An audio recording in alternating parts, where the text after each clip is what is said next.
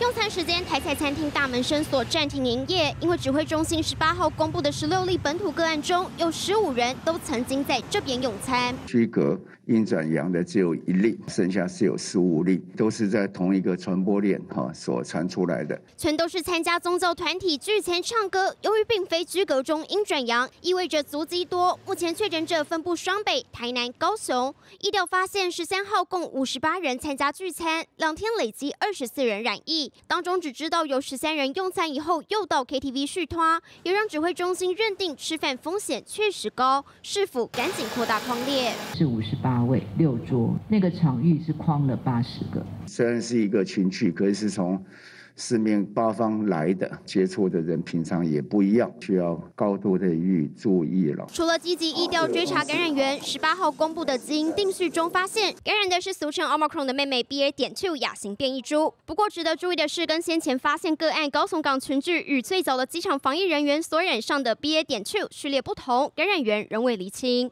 机场的航警哈，它定序的结果也是 B A 点 two 哈，那所以我们也会朝可能相关的来源国的这些境外入个案再进一步去做一些比较。指挥官陈时中点出，除了宗教团体吃饭唱歌团必须高度注意，国内剩下也还有另外八条传播链，感染源不明，监测期也未过，千万不可松懈。